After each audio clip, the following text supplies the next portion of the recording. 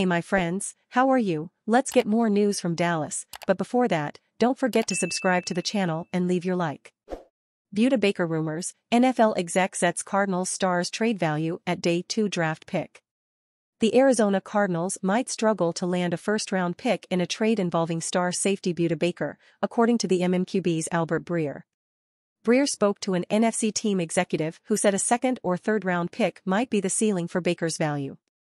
The exec noted the Minkah Fitzpatrick and Jamal Adams trades saw a first-rounder change hands, but said those two were younger than Baker and had a little more contract security.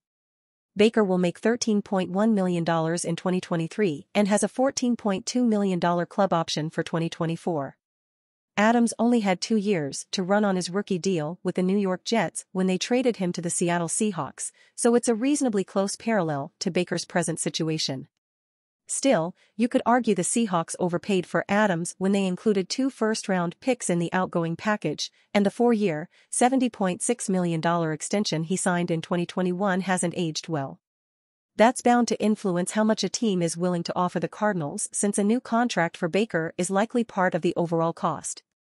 The five-time Pro Bowler could wind up sticking around in Arizona. ESPN's Adam Schefter reported he requested a trade but followed up to say Baker was initially open to an extension that makes him the highest paid safety in the NFL.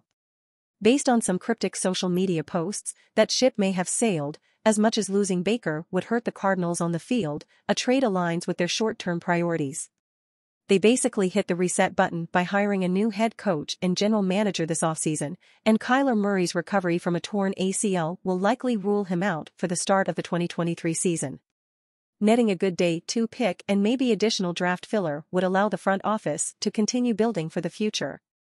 Removing his salary from the books in 2024 would also give them increased flexibility for free agency or accommodating a blockbuster trade.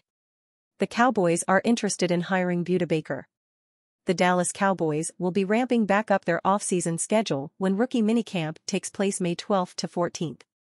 That will be our first look at the rookie class, consisting of the draft picks and the undrafted free agents. And you fan, what do you think of the Budda Baker situation? Leave your opinion in the comments.